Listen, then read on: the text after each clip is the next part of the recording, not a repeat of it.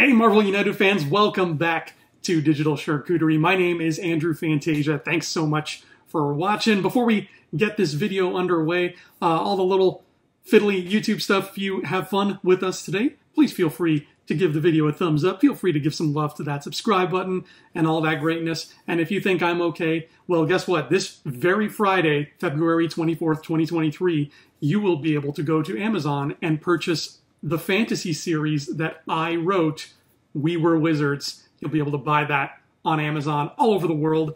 And so far, two of the books in the series will be available, with many more to come in the near future. So, with all that being said, I mentioned in some of the other Marvel United videos talking about uh, a storage solution uh, but it's a very unorthodox one. So we have so much time to kill over the coming year uh, that I figured, hey, we all are in the same boat. We're all waiting for the same goodies to arrive over the next months. I will have some more videos for you uh, that are all Marvel United goodness, and this is the first of many. So let's talk storage.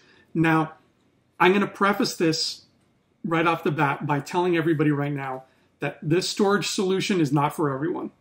It's absolutely not for everyone. In fact, when you see what it is and how it works, I would say, I'm going to hazard a guess here, three quarters of the people watching this are going to see how it works and their reaction is going to be,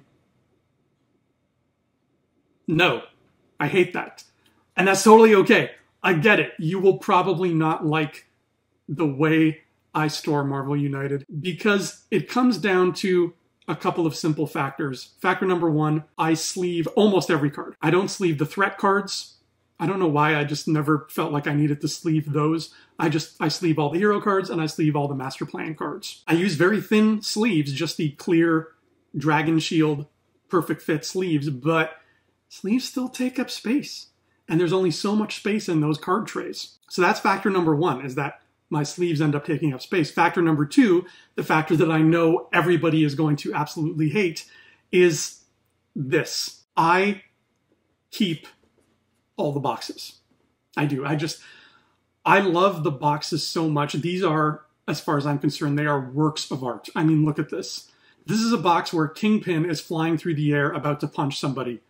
I could never, in good conscience, throw away anything that has art of the Kingpin flying through the air about to punch somebody. It's just not happening. These boxes are all beautiful. I love them to death. I could stare at them for hours. And I get that they take up a ton of room. I understand that. And I'm not a person with a ton of room. I don't have a giant home. In fact, not only do I live in a small, cramped basement apartment, I live in somebody else's small, cramped basement apartment. So the house upstairs isn't even mine. So I have completely no room to work with. I understand that space is at a premium, and it is foolish of me. It is absolutely foolish of me to hang on to these boxes, but they are just gorgeous. I can't let them go. And I have found a comfortable, out of the way place to store them. Especially like, look at this. Come on, look at this.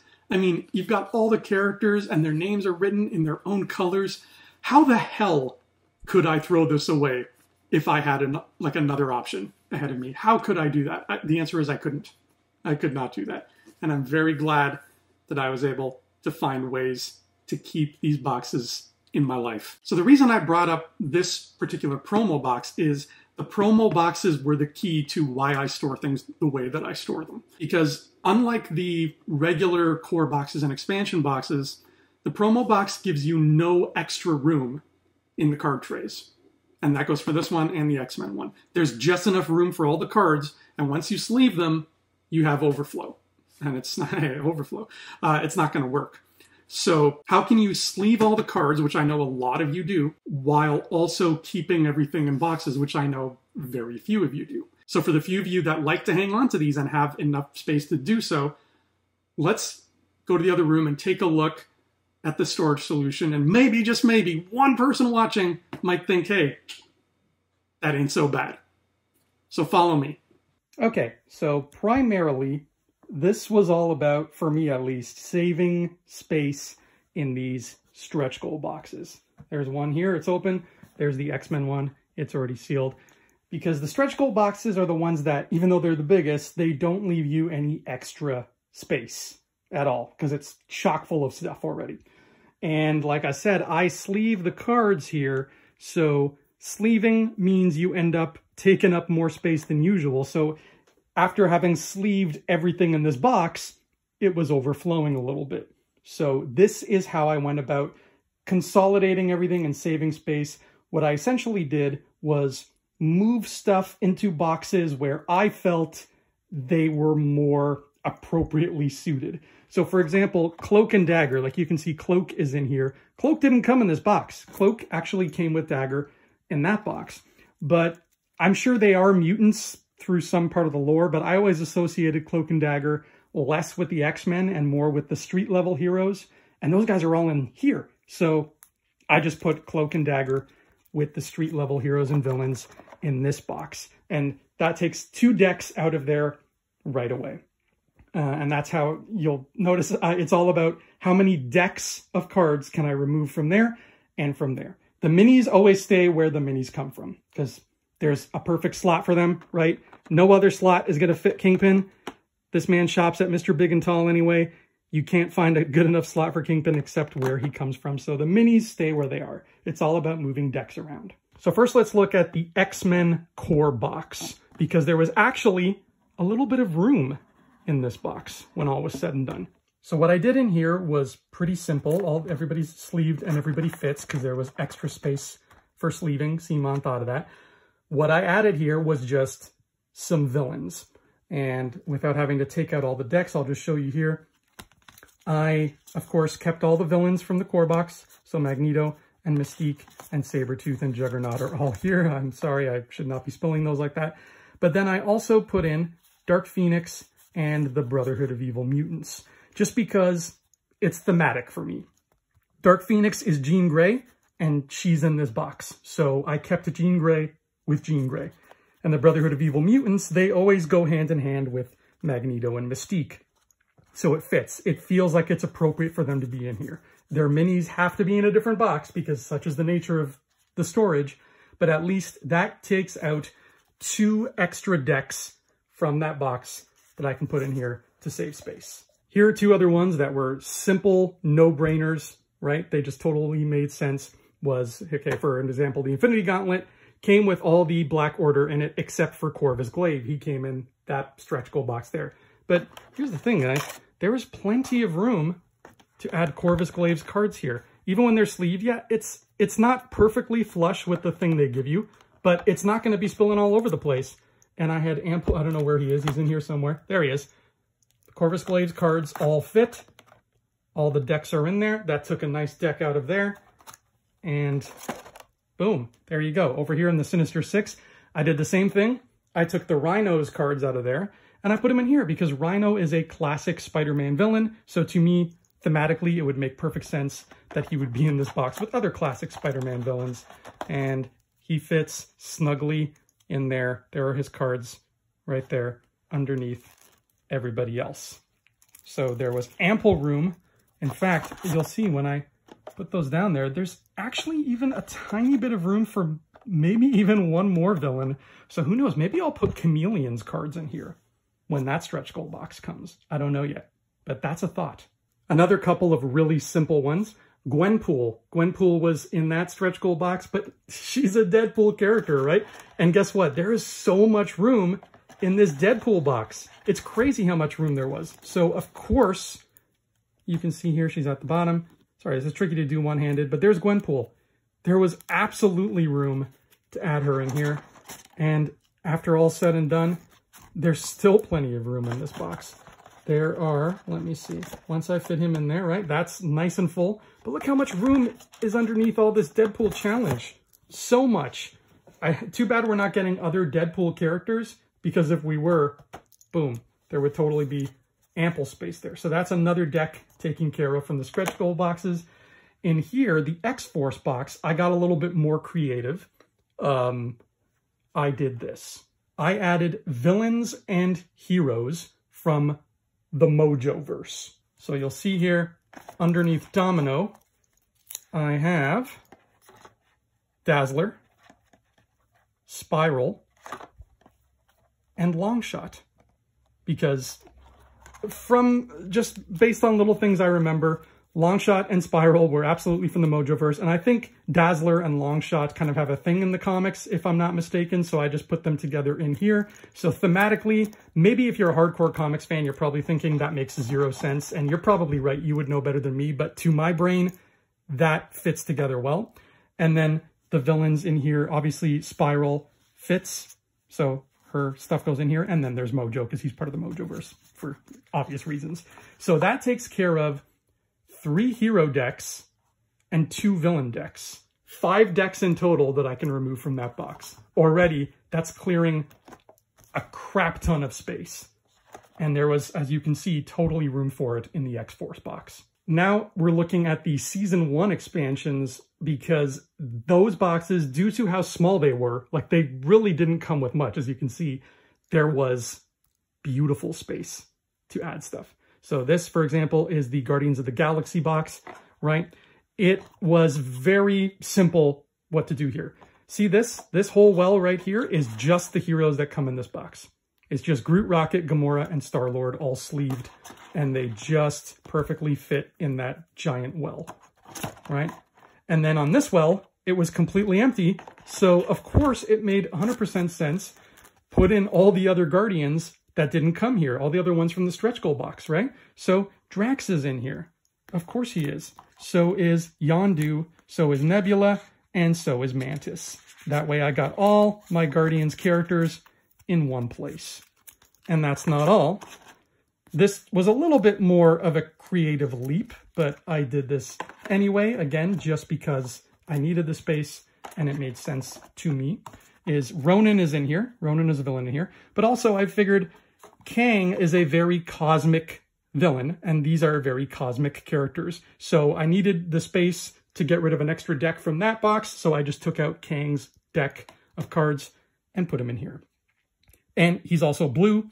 He's a blue cosmic villain, just like Ronan. So it's it's a mnemonic thing for sure. It might make zero sense if you're looking at it from a comic storyline perspective, but it makes sense to me. I know, oh, the two cosmic blue bad guys are in this box. So there you go. There's Guardians. Spider-Man box, way simpler, right? There's a lot of Spider-Man characters. Again, everybody's sleeved. Look how much room I still have here for another spider hero. So when I get, let's say, Cosmic Spider-Man in the new box, he's absolutely going in here because there's so much room for him in here. Who only knows how much room is going to be in the Spider-Geddon core set. But I also put Spider-Man 2099 in here because that freed up one deck right there. Then I put Spider-Woman, as you can see. I also put Venom. Where is he? He's at the back. Venom, because he absolutely goes with Spider-Man, so why not? So not only is Venom's hero deck in here, but underneath Green Goblin, I have put Venom's villain deck and Carnage's villain deck because Venom and Carnage go together so well. So if you're keeping track, that is 2099, Spider-Woman, Venom, Venom Villain, and Carnage. That's five decks I was able to take out of there to make space and put in here. And there's still so much room left over. And in here, there were also five decks. I added Drax, Gamora, Nebula, Yondu, and Kang. 10 decks I was able to clear from stretch goal boxes. Saved so much space. And last but not least, here are the other two Season 1 expansions. We got the Asgard and Black Panther ones. So by now you should probably guess what it is I did. So first of all, look how much space there still is in here with everybody sleeved. But I added, who did I add in here? Was it just one person? I think I did just add one person, yeah. All I added in here was Hela. Villain decks take up more space than hero decks, so taking out one villain still made a difference. Removing her from that still made a difference. So all of Hela's cards are in here. She's a Thor villain. This is basically a Ragnarok box. I mean, let's be real. So putting her in here completely makes sense. And given the ample space I have, I am 1000% putting Kid Loki in here. And who knows, if we get a Lady Sif stretch goal, which would be really nice, she's going in here too. Finally, Black Panther. This was uh, a little bit more imaginative on my part, but it makes sense to me, and hopefully it'll make sense to you. First of all, as soon as I remove this, you'll see characters who do not belong in here. Feral and Wolfsbane. I put Feral and Wolfsbane in this Black Panther box because, and this is just my silly way of thinking, Black Panther is a panther. He's a jungle cat. So are they. They are jungle cats. So I put jungle cats all together in this box. I also put Okoye. She was from the stretch goal box and she should absolutely be in here. Okoye makes a hundred thousand percent sense in this box. I don't even need to explain myself there. Finally, the last thing that I did was I added villains to this box in the form of, first of all, Namor. Namor is in here. His villain and hero decks are both in here because I knew Namor was going to show up in Black Panther Wakanda Forever. So that gave me a perfect excuse to take two decks out of there, a villain and a hero deck, and put them in here. Boom, beautiful, saved room. This is now chock full. And I also added the villain deck for Shadow King because in the X-Men cartoon, when they encounter Shadow King, they encounter him in a village in Africa. So I figured, okay, he lives in Africa. This is the Wakanda box. Let me just throw him in here. It makes sense to me. I get to remove another deck from the stretch goal box. And that's what I did for everything. That's all my crazy way of thinking. Maybe you find this all furiously wrong and you hate this and you hate me for doing it, but I'll tell you, it has saved me a hell of a lot of time and effort trying to think of more efficient ways to store things outside of the boxes because I want to keep all these boxes because I like them so much. So that's how all the storage solution has worked out for me. Everything's kind of here. I know where everything is and who is where. And uh, so far, it has never steered me wrong. Actually, uh, here's a quick edit because I filmed all of that footage before we ended the campaigns. Now that the campaign's over and we know exactly who's going to be in our stretch goal box, I tried to see what I could fit. So we know that we're getting Kid Loki. He's a hero, right? So let's say, for example, I'm going to take War Machine. Thanks for helping me out here with this War Machine. I appreciate it. I'm going to take a deck of 12 hero cards. We're going to pretend this is Kid Loki's deck. As you can see, it's going to fit perfectly in there. And there's still room to spare. So I don't think there's another Asgardian hero, but we know Kid Loki's cards will fit in here. Is there room for another villain deck? Well, let's ask my friend Kingpin, my favorite character in any comic book ever. Kingpin, you're going to help me out here. So we've got a villain deck. We have 12 master plan cards, and we have all his threat cards, too. So this is what a typical villain deck would be like. I don't sleeve the threats. I only sleeve the master plans, because I'm weird like that. But we know we're getting Gorr the God Butcher, for example. Can Gorr the God Butcher fit in this box? The answer is yes. Another villain can fit in the box. Now, here are all the villain dashboards that I have in here. What happens if I go ahead and add kingpins? Is that going to make a scene? Is that going to cause problems? No. Is everything going to close properly still? Yes, it is. Look at that. It works. So I know Gorr and Kid Loki are going in this box. I'm actually going to keep Enchantress in the stretch goal box when it comes out, even though she would fit in there. And the reason is Enchantress has that kind of cool but kind of annoying mechanic where you have to take henchmen from other villains' decks. So I'm going to keep her in the big box because that box will have a crap ton of villain decks that I can draw from. And that way I don't have to open a separate box every time I use Enchantress. So I'm going to keep her in the big box. But let's see if we can do that with some of the other expansion boxes now that we know the final tally of characters. So here's the Black Panther box again. We only got one villain, one character as far as I can think of in the stretch goal box that would fit in this box or, you know, that would make sense in this box and that would be Claw, because Klaue is a Black Panther villain. So once again, let's grab our Kingpin villain cards and let's see, let's drop him on top of Killmonger. Hmm, okay, it's a little tight. Yeah, I don't think Claw is going to fit in this box. Hmm, that's a shame, but there might be something we can do. Let's see here. What can we do? Yeah, because we have Namor in here, and everything's kind of full up. So you know what? Maybe this box is pretty full. We can't put Claw in here. Uh, well, we tried. At least we know. However, here's the Guardians box. We now know that High Evolutionary is going to be a villain in the Kickstarter multiverse box. So let's see if we can fit a villain in here. I think we can. Oh yeah. Yeah. There's almost no overlap. We can do that. Here are the villain cards I have in here already. Can I add Kingpins to the list right there without it being an issue? Yeah. So High Evolutionary's cards are going in this box. In fact, High Evolutionary has fewer cards. If I remember right, his deck is smaller than a normal villain deck um, or something along those lines. He has a weird deck. So he will fit in here no problem, in fact. So that gets another deck out of the stretch goal box. Beautiful. But now comes the million dollar question. Can I fit any new Spider-Man characters into the Spider-Man box? Well, the villain tray looks a little full. I've got Green Goblin, Venom, and Carnage in there. I think adding, I'm surprised actually that I never added Kingpin to this, but yeah, adding another villain in here is out of the question. However, there is plenty of room for another hero deck. Look at that. Yeah, War Machine fits in there perfectly, which means I can get the Cyborg Spider-Man deck out of the stretch goal box and pop it in here. So that's where that's going to go, which gets me another deck. Perfect. Now, I can't put any villains in here, but can I fit at least one more villain in my Sinister Six box? Uh, let's see. Pray for me. Pray for me, people. Let's see. Will Kingpin, that looks like it's full. So let's see. Will Kingpin fit here? Yes, he will. Yeah, that's fine. That'll get me one more villain.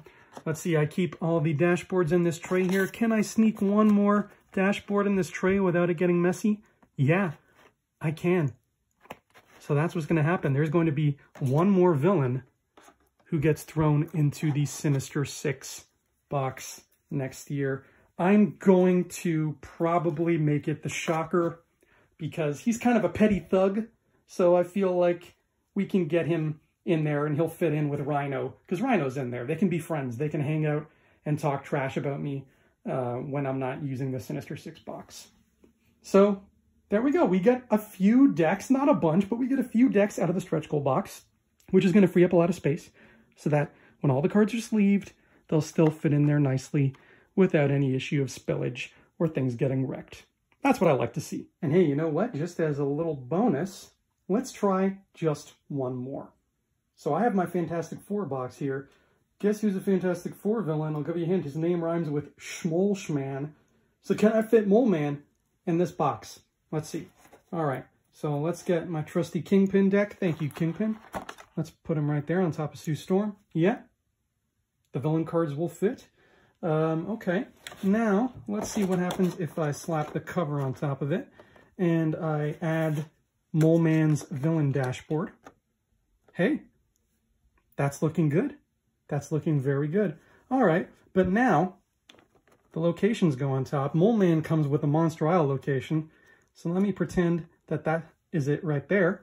Can I close up the box and make everything fit nice and snug without any kind of problem? Oh, that's beautiful. So we know where Mole Man's going to live when he shows up. And that's right there. All right, that's it. That's my unorthodox Marvel United storage solution. I hope if at least one person thought that that was a neat idea and that they'll consider trying it, great. If not, I hope I just entertain you with how bafflingly silly my storage is. I just, I know it probably makes no sense to anybody but me, but everything has its place.